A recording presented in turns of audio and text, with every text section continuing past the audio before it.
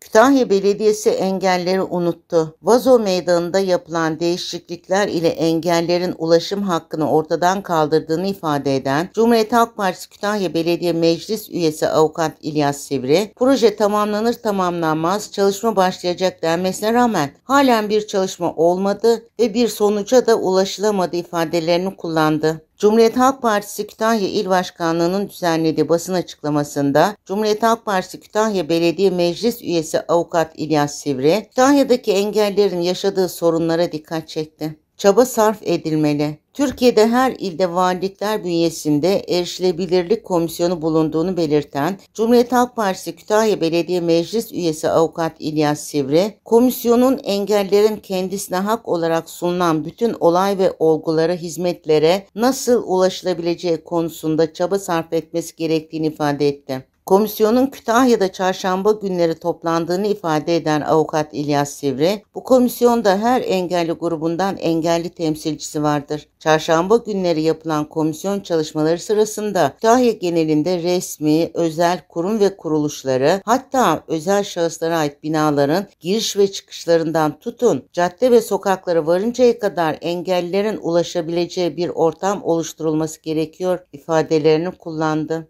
Meydandaki değişiklikler engeller için sorun. Birleşmiş Milletler tarafından karara bağlanan erişilebilirlik hakkının ülkemizde de uzun süredir uygulandığını dile getiren Sivri, ancak eski belediye önünde şimdiki vazo meydanında değişiklikler yapılarak elektrik direklerinde kavşak noktalarında bulunan direkler değiştirilerek bu sistem ortadan kalkmıştır. Aslında komisyonun Kütahya Belediyesi'ne verdiği başarı belgesiyle biz nasıl olsa bu konuda başarılıyız diyerek engelleri unuttu şeklinde konuştu. Sonuca ulaşılamadı. Bu durumun engellerin hakkı olan ulaşım hakkını ortadan kaldırdığına değinen Sivri şu ifadeleri kullandı. Eylül ayından itibaren Kütahya Belediyesi meclisinde dile getiriyorum ve halen sonuç alınamadı. Eylül ayındaki konuşmamda Başkan Bey'in proje tamamlanır tamamlanmaz çalışma başlayacak demesine rağmen halen bir çalışma olmadı ve bir sonuca da ulaşılamadı. Bu durumu kamuoyuna iletmek adına bu açıklamayı yapıyorum dedi.